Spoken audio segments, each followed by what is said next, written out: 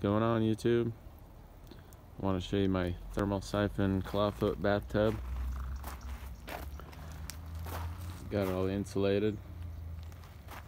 Picked this tub up for free and uh, just kind of hot glued some R15 insulation that I had and then taped some 6 mil plastic over it since it's the middle of winter that cast iron loses heat real good. And then uh, have a little pond pump in here to circulate the water. That works awesome. And then have the uh, the drain supplying the water that comes out.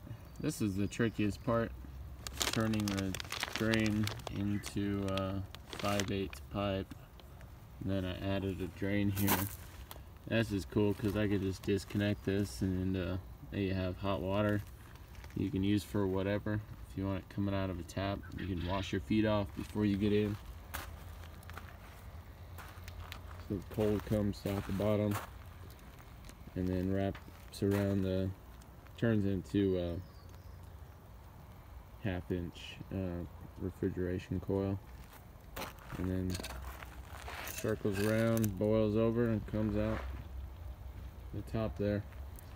It was uh, snowing a couple weeks ago so I just willy-nilly wrapped some aluminum flashing on there just to keep the snowflakes from cooling it down. And uh, basically burning all my garbage wood. Trying not to use up my uh, winter supply. But yeah, this, this was, uh, I got it up to 112 last night in uh, five and a half, six hours from 48 degree water Fahrenheit. And uh, yeah, it was at uh, 90 this morning. So I figured I'd have another go at it. Got it up to 95 in just 20, 30 minutes. So it's about, it's actually a lot faster than a lot of the hot tubs I work on that use electricity. But this is, this little pond pump circulates the water and uh, just need to figure out a way to uh, kind of displace the water with something, some kind of tank that I can uh, remove, I don't know, um, that way when I sit in it, water doesn't overflow because I plugged up the overflow drain and removed the fixture and just have this coming out. So this is usually submerged and it heats up a lot faster because it there's a lot less resistance. Sorry, I'm having trouble describing this. I just waked and baked. Uh, I usually fill this thing up uh, halfway and just ha always have hot water, you know, cooking. That way I'm utilizing that heat space.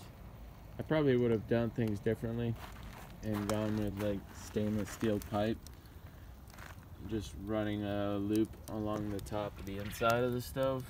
So I feel like I'm wasting a lot of heat just to capture it from the exhaust here. So, but it works out. It's pretty nice sitting in here and when it's 30 degrees outside. Plus, uh, have an electric hot tub, you can't go past 104 legally. In Japan, they still go up to 115. I had it a few weeks ago, 115. That was hot. I like it around 110, 112. Yeah, 104 is like lukewarm. Anyways, hope you enjoyed. Have a good day.